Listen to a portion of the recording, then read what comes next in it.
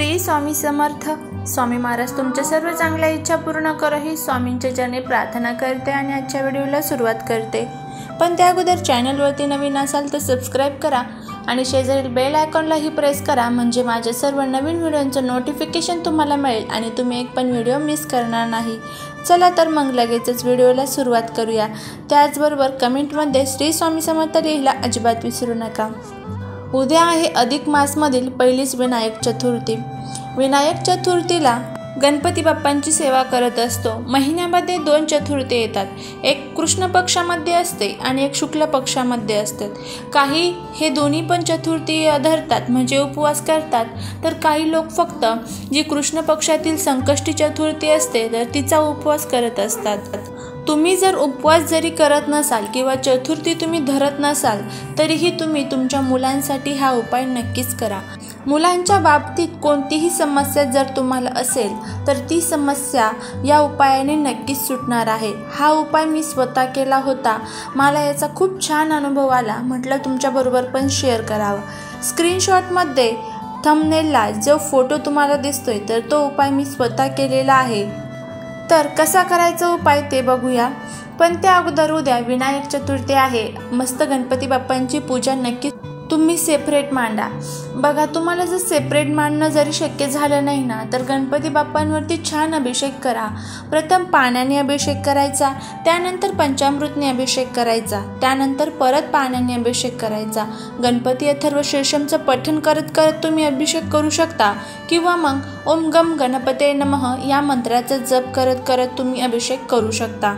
आता हा जो उपाय आहे तर हा उपाय लहानातील लहान मुलांपासनं ते मोठ्यातील मोठ्या मुलांच्या कोणत्याही इच्छा असेल तर त्या पूर्ण होण्यासाठी तुम्ही करू शकता. उद्या गणपती बाप्पांना त्यांच्या आवडतीचे मोदक तुम्ही नक्कीच अर्पण करा. मोदक जर तुम्हाला बनवणं शक्य झालं नाही तर फक्त गुळाचे अकरा खडे तुम्ही नक्कीच अर्पण करा कारण गणपती बाप्पांना गुळ हा अतिशय प्रिय आहे. उद्या गणपती बाप्पांना त्यांच्या आवडतीचे जास्वंदीचं फूल पण तुम्ही अर्पण करा. जास्वंदीचं फूल आणि दुर्वा ह्या गणपती बाप्पांना अतिशय प्रिय आहेत.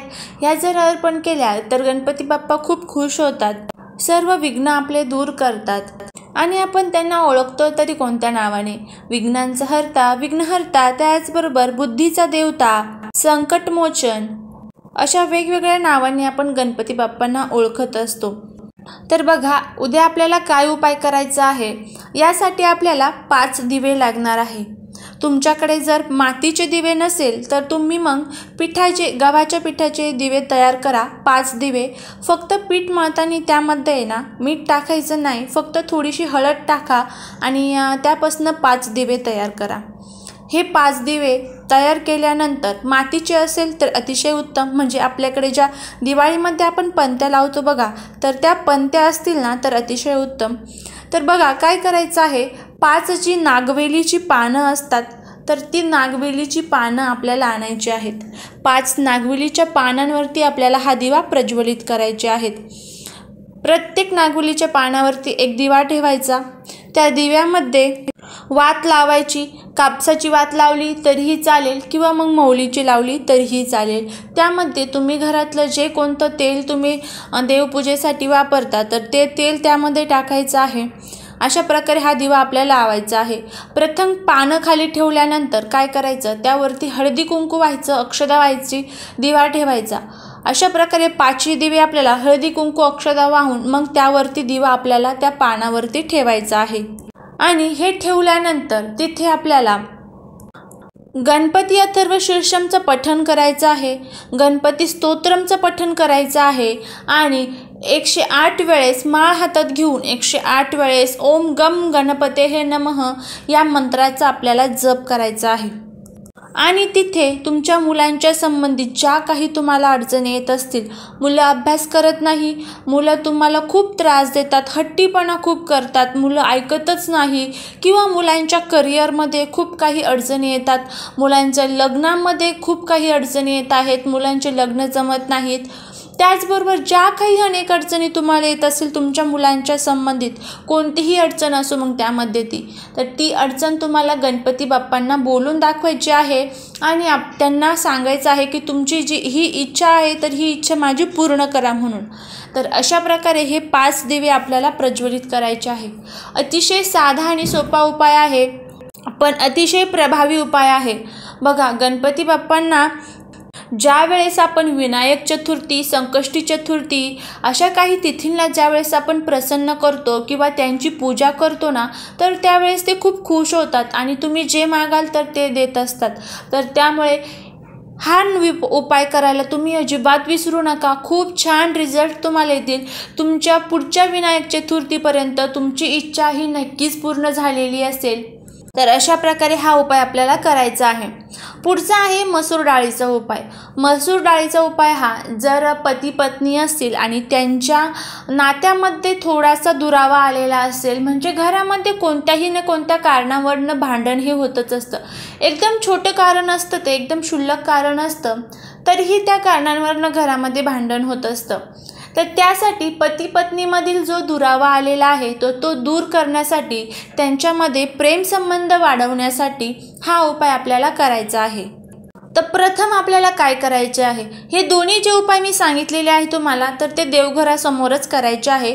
संध्याकाळच्या वेळेस ज्यावेळेस दिवे लागण्याची वेळ असते तर त्यावेळेस हे उपाय आपल्याला करायचे आहेत.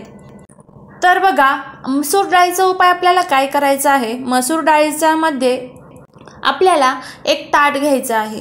प्लॅस्टिकचं ताट सोडून कोणत्याही धातूचं ताट घेतलं तरीही चालेल.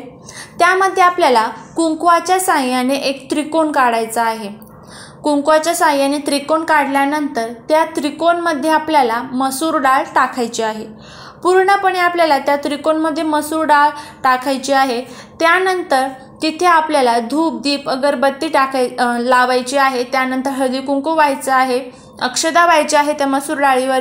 आणि तिथे आपल्याला ओम गम गणपते नमः या मंत्राचा एकशे आठ वेळेस जप करायचा आहे.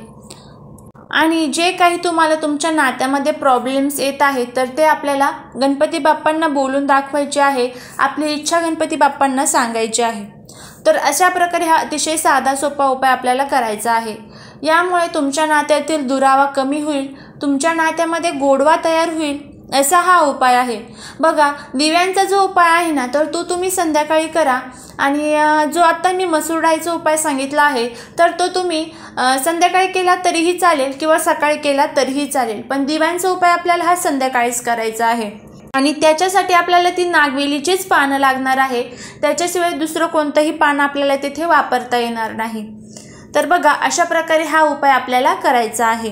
हे दोन्ही उपाय तुम्ही करा. तुमच्या ज्या काही इच्छा असतील ज्या काही प्रॉब्लेम्स असतील तर ते नक्कीच पुढच्या संकष्टी चतुर्थीपर्यंत किंवा पुढच्या विनायक चतुर्थीपर्यंत तुमचे प्रॉब्लेम्स हे पूर्णपणे दूर झालेले असतील. असा हा अतिशय प्रभावी उपाय आहे. तर चला झालेली सेवा ही महाराजांच्या चरणी अर्पण करते आणि व्हिडिओ येथेच थांबवते. श्री स्वामी समर्थ.